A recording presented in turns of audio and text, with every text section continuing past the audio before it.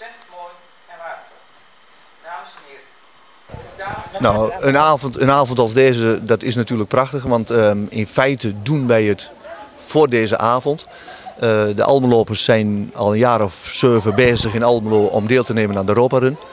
En ehm, dat merken de Almelopers bijna het hele jaar door. Omdat we dus continu bezig zijn om gelden in te zamelen voor die Europa Run. Je komt ze overal tegen, hè? Dan weer eh, zamelen ze hier wat voor in en dan organiseren dat weer. Ja. Klopt, ja, eh, het zijn, of we proberen loten te verkopen. We hebben de week na Pasen dit jaar gecollecteerd in een aantal straten. We staan met de Oranjemarkt, uh, toevallig altijd met oranje hesjes. Dus we vallen, als we er zijn, dan vallen we ook op. We zijn we meestal met veel.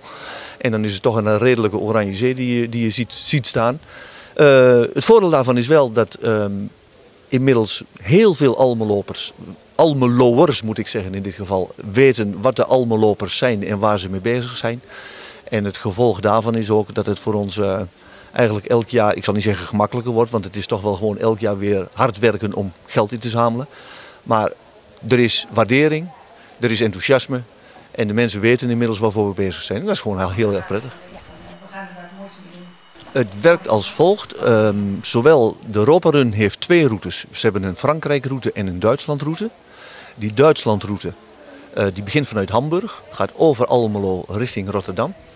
Alle teams die op die Hamburg-route deelnemen, die mogen na de Europa Run, en daar krijgen ze dus een speciale mail voor van de Europa Run, mogen een aantal punten geven aan een stuk of vijf of zes verschillende doorkomststeden. Al die teams en al die punten die worden dan door de Europa Run bij elkaar opgeteld. En op een avond in oktober wordt er een feestelijke bijeenkomst belegd in Rotterdam. En daar worden de winnende teams dan uitgenodigd. En dan krijg je dan te horen of je een eerste, een tweede of een derde plek hebt gewonnen. Eerste plaats 50.000 euro, tweede plaats 25.000 euro en de derde plek is goed voor 12.500 euro. Vanavond hebben we een heel ander bedrag, hebben we ruim 70.000 euro uitgereikt. Dat komt. In 2012 hebben we ook een aantal instanties checks uitgereikt. En nu bleek achteraf dat er van die checks een aantal niet zijn verzilverd. En het geld wordt namelijk door de Roperun pas uitgekeerd als er ook daadwerkelijk door de aanvragende instantie een factuur wordt ingestuurd waarop eh, staat wat er gebeurd is met het geld. Of wat, wat er gebeurd is en dan pas wordt dat geld uitgekeerd. Dus bij de organisatie van deze avond kwamen we erachter dat er nog gewoon bij de Roper een 20.000 euro op de plank was blijven liggen. En die konden wij dus opnieuw uitdelen vanavond. We rennen en rennen en blijven rennen. Niet voor onszelf, niet voor de sport, niet voor de prestatie, maar voor de mensen in onze gedachten, voor mensen dicht bij ons.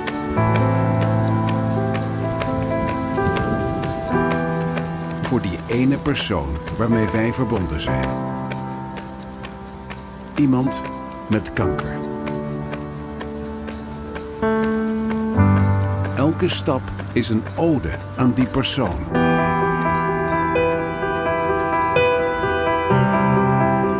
Dit doen wij voor hun.